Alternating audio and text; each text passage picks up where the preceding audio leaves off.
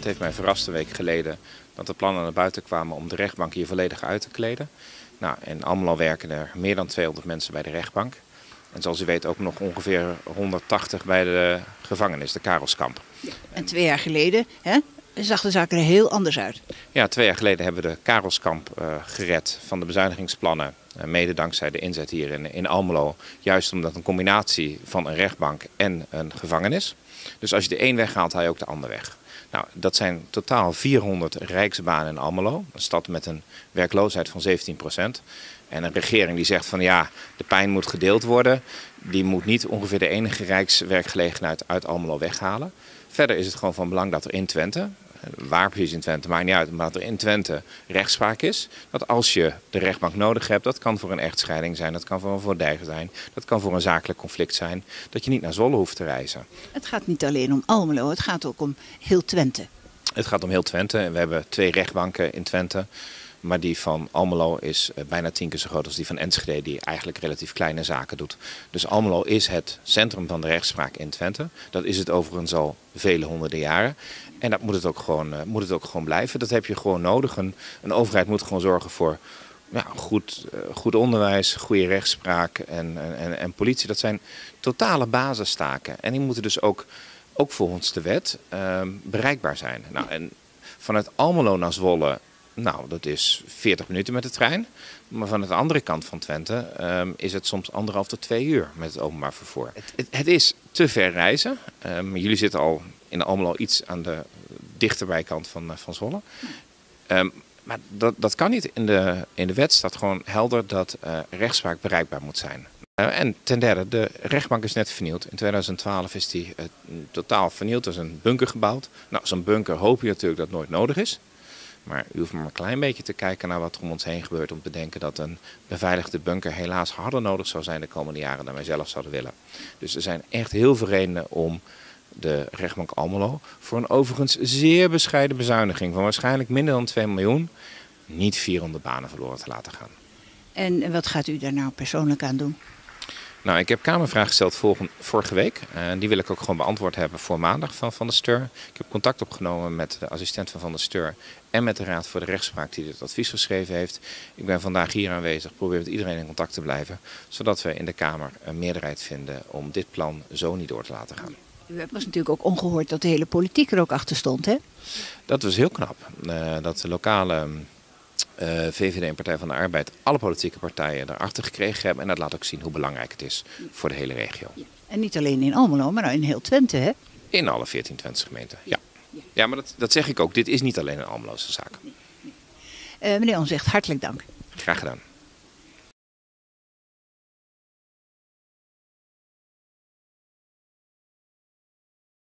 Daar staat ieder zijn eigen pak. We hebben een convenant afgesloten als waterschap Vechtstromen samen met de gemeente Almelo om de uh, wateroverlastproblematiek in Bonnebroek om die gezamenlijk aan te pakken. De broek zegt het al, het is een laag gebied, dus daar heb je van natuur al heel snel uh, hinder van het water. En uh, de komst van de doorbraak, of de realisatie van de doorbraak, heeft dat zeker de situatie niet verbeterd. En daar, van daaruit hebben we ook onze verantwoordelijkheid genomen om samen met de gemeente Almelo te kijken hoe kunnen we dit probleem nu in gezamenlijkheid oplossen. Ook financieel, want het is de kosten worden 50-50 verdeeld. Maar ook, uh, laten we zeggen, de werkzaamheden goed op elkaar afgestemd. Proberen werk met werk te maken. Uh, in de planning, dat je de zaak zo optimaal mogelijk realiseert, zodat de omgeving daar zo minst mogelijk last van heeft. Deels is het een aanpassing van het reguleringsstelsel. Nou, dat is meer de verantwoordelijkheid van de gemeente, dus die neemt de gemeente ook voor haar rekening. Het aandeel van de gemeente is dat wij de riolering moeten vervangen in Bonnebroek. En dat wij ook gezamenlijk gekeken hebben van uh, dat de wateroverlast die ontstaat in bepaalde delen van uh, Bonnebroek, van niet van uh, wiens verantwoordelijkheid is het, maar we hebben van doen met een probleem. En hoe kunnen we gezamenlijk het probleem het beste oplossen? En daarin kijken we van werkzaamheden die um, plaats moeten vinden of we die kunnen bundelen. Um, en op die manier de uh, het oplossen van het probleem, dus te vaak natte voeten, of we dat goed kunnen oplossen in gezamenlijkheid, minimale overlast tegen minimale kosten. En wij gaan daar uh, wat wij noemen dan de detailontwatering verbeteren. Dus dat betekent dat de, de overige waterlopen, de, de zijlopen, dat we die gaan verbeteren. Om het water, indien het zich daar in Ponnenbroek aandient, sneller te kunnen afvoeren naar een laag gelegen gebied. Nee, de totale kosten zijn meer dan uh, een miljoen, maar we hebben ze verdeeld. Het is ongeveer 1,2, 1,3 miljoen, waarbij we een goede verdeling hebben gemaakt uh, van de kosten. Die worden onder andere dus besteed aan goede regulering, goede afwatering van het water, waardoor zij in ieder geval geen last hebben van natte voeten. Waarbij ik net als mijn collega de uitzondering graag maak bij enorme hoosbuien. Ja, dan wil het wel eens even zijn dat je te veel water hebt, maar dan is het van tijdelijke aard. En uh, met een goede afwatering is het ook zo weer vertrokken.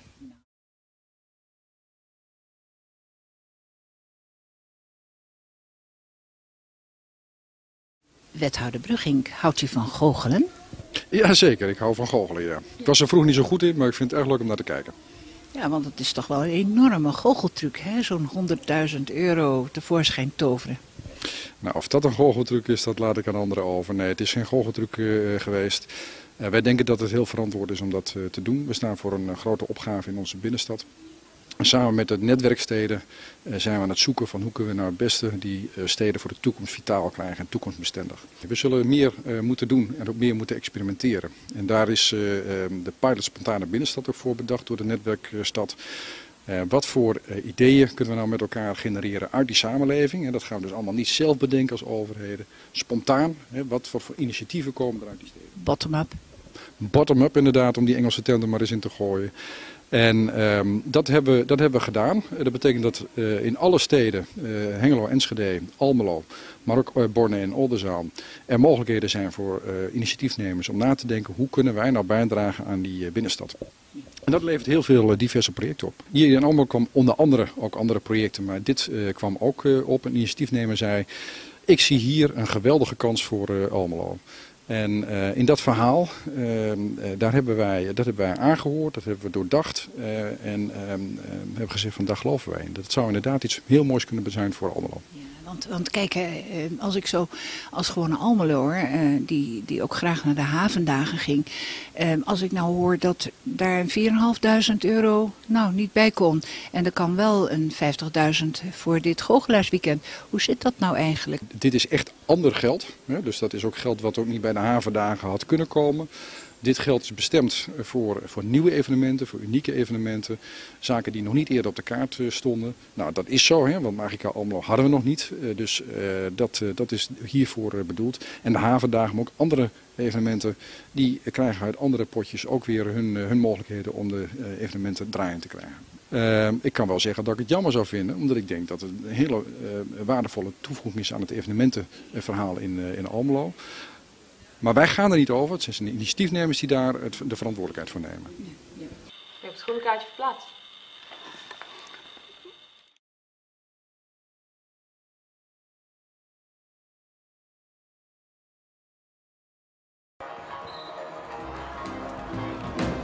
We could travel the world,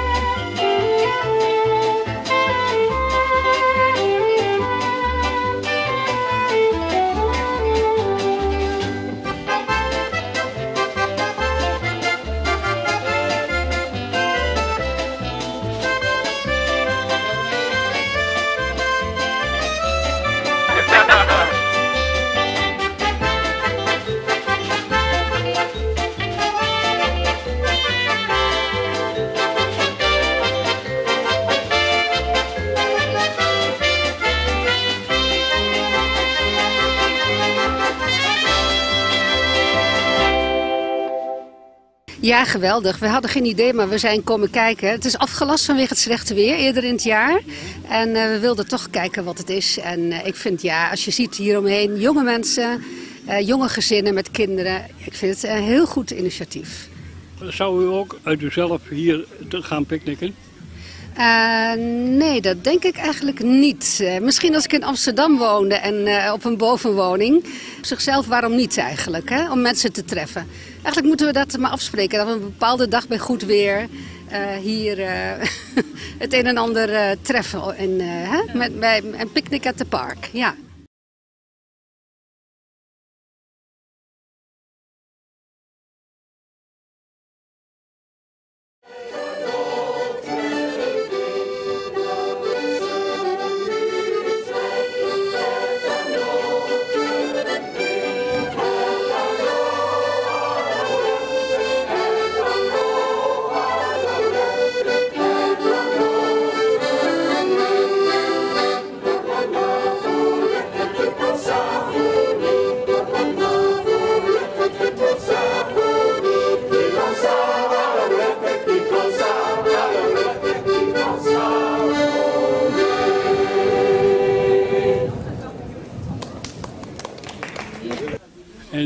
Bent u al bij de pijntoeristen?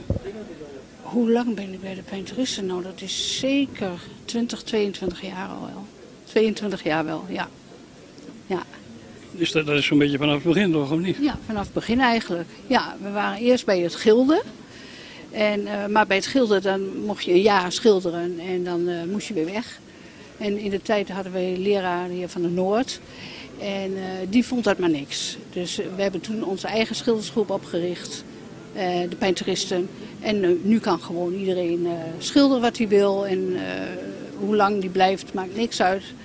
We zitten nu bij speeltuin Het Nieuwland aan de Steffensweg.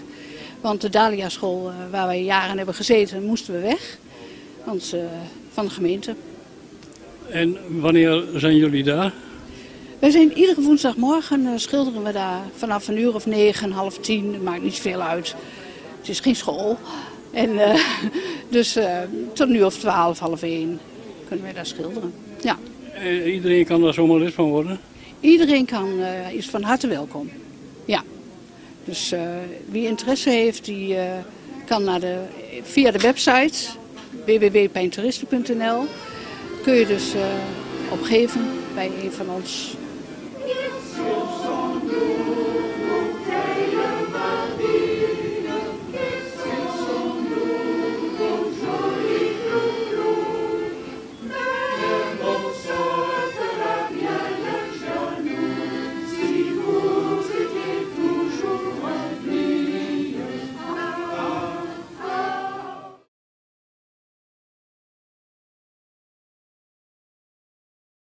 Bij, was de bedoeling om nu de Holtjestraat en Godenstraat Zuid te doen, omdat daar nogal heel veel wordt afgebroken. Ik heb eh, Herman Astelijnen bereid gevonden, maar daar vroeger altijd de postbezorger, die weet alles Deze kant van de Holtjestraat wordt helemaal afgebroken. En dit wordt ook helemaal afgebroken met de Godenstraat Zuid. En dan gaan we nu hier beginnen en hier naartoe lopen. En als we dan bij dit zijn, dan gaan we bij de oude veemarkt verder. En dan gaan we zo richting Dat dan, het eh, stadscentrum. Ja, ja. Dat dan een sociëteit. Ja, zo, Zo- zo zoiets. ja. Ja, ja. en dat is- Het begin van de Holtjestraat, hè? Ja. En dat is de A geloof ik, hè, die, dat riviertje. Dat rivier is de A, dat is de A. En was dat niet vroeger niet allemaal bendien? Dat was allemaal, al die appartementen. Al die nieuwe app- appartementen. Nieuwe appartementen, hè. Dat was vroeger één complex, dat was van Bendy. Dat was, vroeger een hotel, hè? Dat was vroeger een hotel, Een café. ik weet de naam niet meer. Ja, ik weet dat Nijhuis erop staat. Ja, een korte weet naam. niet meer, is afgebrand. Toen is... Jaarlijks zat eerst hier niet, zat eerst daar. Jaarlijks zat eerst Ja, dus daarachter, ja. Allemaal groter maakt. Ja.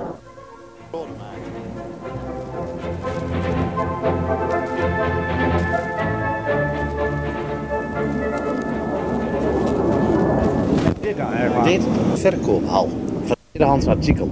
En dat, dat is toen ook tegelijk met die brand, is, daar was dat weg toe. Dus die verkoophal is nooit weer teruggekomen. Dit pand hiernaast, dat was de slagerij. En dat was Leuwenhart. Precies. Er zat een slagerij in, hier in dit pand. En die brug, eh, Herman, waar zat die nou? Dan moet je hier kunnen zien. Die brug die zat hier. Die brug. Dat was complex. Ja. En dat was dan met een luchtbrug hier zo. Ja. En daar sloot hij aan op, het, op dat kantoor. Maar bij dat die opening of bij Ja. dit hoes hier? Nee, dat is hier, bij- hier bij, bij, die, appartementen hier. en dat Ja, ja. Zie je? Maar ze hebben het oude kantoor van Berlin. Ja. Daar staat er nu nog steeds. En dat is nu helemaal aan eh appartementen zitten daar binnen niet. Dat is nog een mooi pand, weet je wel. Ja, dat is een, een hartstikke mooi mooi pand. Hè? Maar gewoon eens even een beetje dichterbij kijken naar dat pand.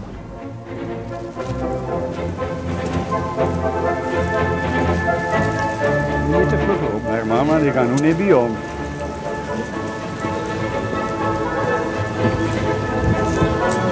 Hebben allemaal verschillende pandjes opgestaan. Dit. Die zijn allemaal afgebroken. Dit. En dan was daar hier was een pandje van Silva.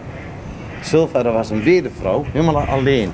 In uh, furnituren, weet je, van in breigaren en uh, naaigaren, weet je, echt voor beduurwerk was die. En dat was op nummer 13 was dat, die Silva. Was een mevrouw alleen, was dat. Ja. Ja? Dat is jammer eigenlijk, hè? Al die winkeltjes weg bent, hè? Die winkeltjes zijn weg, ja. Dat is al die andere straten ook, Ja. hè? Dus overal met de winkels weg. Ja. En dit is een daar, Herman. En Dus dit hier- Wall dit Street, hier, maar dat werd ik dat niet meer gebroed. Wall Street. En er zat hier een gebakjeszaak. Dat weet ik niet zeker meer van Hanning hier, maar er was een gebakjeszaak hier. Die zat hiernaast. En er zat daarnaast, er zat weer een eh, tabakshandel. Oh, waar nou de Zwanenbelt De weg is. Zwanenbelt is. De, hè? Is die de naam erop van bekend? Nee, die naam weet ik niet van die tabakszaak. Maar hier meen ik die gebakzaak was eh Hanning, meen ik. Ja. En dit is dat mooie pand. Het is een pand. Dit? Dat kan 1891 dat kan- gebouwd. Het is alleen natuurlijk een klein beetje gemoderniseerd. Ja, en in Hè? 1985 eh, gerenoveerd. Tussen gerenoveerd. Hè? Ja. Dat komt natuurlijk ook met die hele nieuwbouw die hier achter zit, de ministerhoek. Hè? Toen Benny wegging, toen zei ze, nou wat gemeente, wat moeten we mee? Nou, dat is eens een gouden woning en daar. Ja, dus alles is gesloopt, veel Ja. confectiefabriek is weg. Maar die dakkenpand past er ook niet Alles. bij, hè? Nee, zie je dat? Past niet. Nee. Maar, daarnaast, er zat Valente, een drogist. Staat daar een hele smalle pandje? Ja, dat ja. Met die rode deur? Ja, dat was ietsjes verder, dat was Valente door. Een eh, Valente, was daar, die scho- schoenmakerij was daar. Nou Excelsior Ja, is. een Ah. drogist was daar. Een drogist. Hè?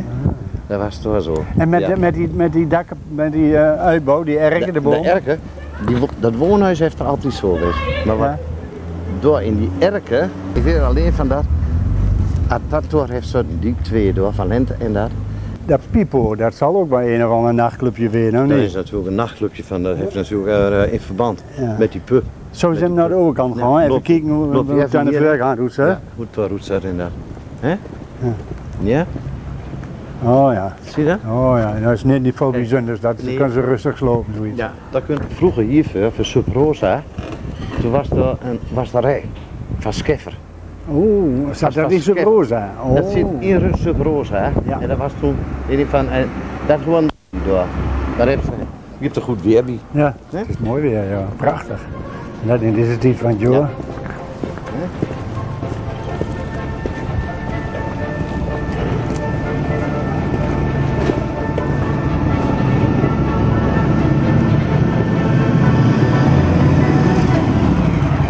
Ja. Zo naar de overkant Ja, Ik kom- even naar de Met een mooi pand van stokvissen. Hier, nee, Henny was toch. Ja, ga dat, Hallo, ga dat even bekijken.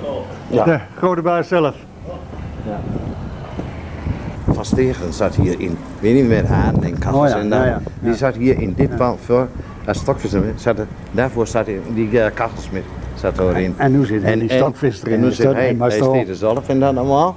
Maar zou dat pandje ook meenemen? Memory? Ja, is goed. Memory? Ja. Nou, neem ik ook mee dan. Nou, dat was vroeger een sigarenwinkel. Van Frezen. Oh, van de voetballen van Herakles. Van die voetballer van Oh. Herakles. Nou, voordat we de- daarheen gaan, uh, Ja. Herman, maar Ja, ja. eh, vind je goed dat we eerst bij Stokvis bij Henny hebben ons vraag voor eh, koffie. want, eh, ik Dan lust bak wel. je koffie gaan Ja, drinken. Ja? Eerlijk, eerlijk. Dat is aardig van die man, hè? Ja, dat doen we. Hallo. Ja. Polma, ken je nog wel, hè? Ja, ja, hallo. Als. En die stokvis. Ja. Wij eh, maken een eh, film Ja. voor het journaal van bejaardenhuizen. Het is, eh, Oh ja. Wij maken dus een, eh, alles wat er dan zo gebeurt in die tehuizen. Daar filmen wij van de filmclub uit, Ja, ja. SVGA. Oh, leuk. Ja. En een van de onderdelen van dat journaal wat we maken is Slenteren door Almelo. Oh ja, oh leuk. En wij hebben nu deze straat uitgezocht omdat hier bijna alles gesloopt Het wordt. kan nu en nog daarna even, doen we de Grote Straat Zuid, Ja. daar wordt ook alles gesloopt.